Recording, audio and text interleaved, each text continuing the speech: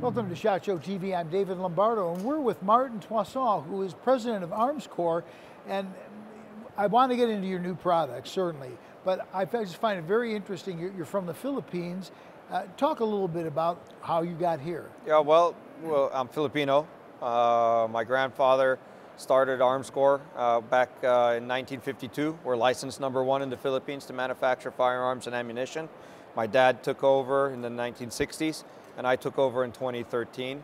Um, it's a family business. We work with my sister, my cousins. Uh, we all actually work as a team, as a committee. I might have the president title, but we actually, uh, everything's run through committees right now, and we, I love it actually. It takes a lot of pressure off of me, because I'm not really, uh, I'm the, the last decision, but it's not a sole decision, sure. if that makes it, uh, it makes any sense. So we work great as a team. Um, and you know we work off each other's strengths. I've got weaknesses, they've got weaknesses, but when you put it all together, we're all just strong together. What's interesting to me is that it was a, a company in the Philippines, and, and you came here. That's right. Uh, my goal is to open up more manufacturing in the United States and create American jobs, even though I'm Filipino. Uh, it's a synergy that I've seen that works really well. There's a reason why I want the United States. It's the best manufacturing in the whole world. I mean, won World War II.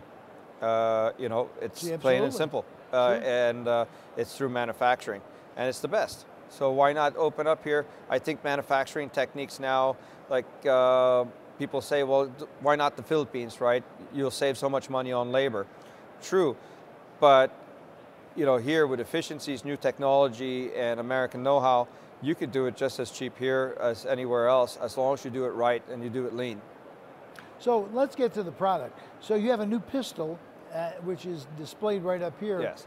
Talk a little bit about that. So I've got the STK 100. We released it last year. Um, and we've been making it slowly but surely.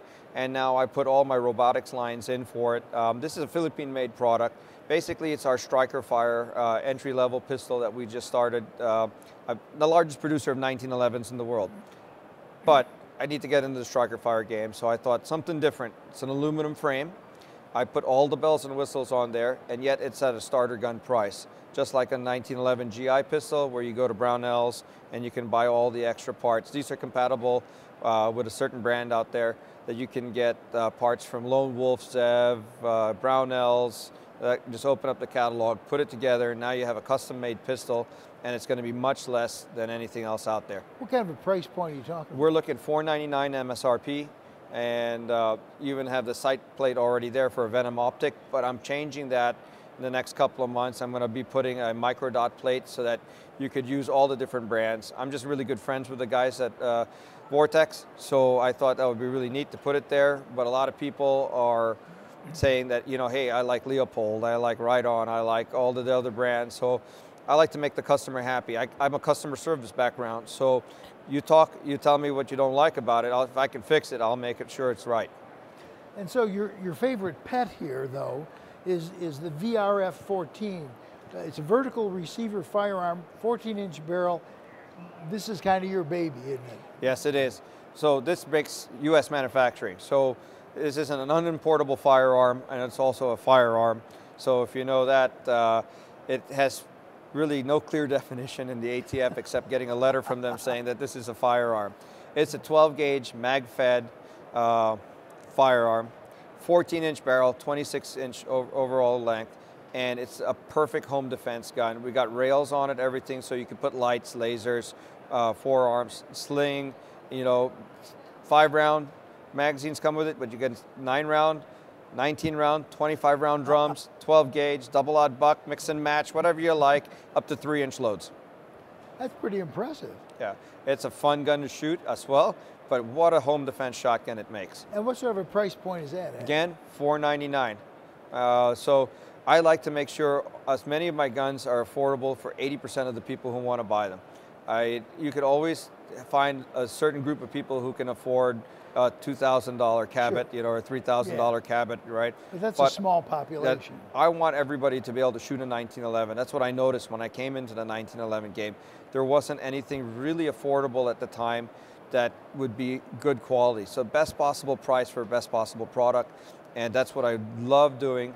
And I, if you are a broke college kid like I was when I first started this business, go in with a $500 budget. You could buy my gun, a couple extra mags maybe if it's on sale.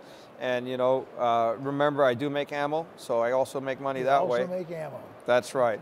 I'm one of the largest producers of ammunition now. Uh, um, I'm not quite Vista uh, or Magtech, but I'm catching up. And, and running faster. Uh, we're really aggressive as a family. Well, Michael, thank you very much for being on the show. Uh, if people want more information, where do they go? Armscor.com is uh, where you go. You got to see all our firearms, ammunition. We're coming out with new calibers, new guns all the time. We have multiple factories, even a factory in Montana for ammunition. So, like I said, we export jo- jobs to the United States all the time. As a Filipino, I'm proud of that. Thank you very much. For SHOT Show TV, I'm David Lombardo.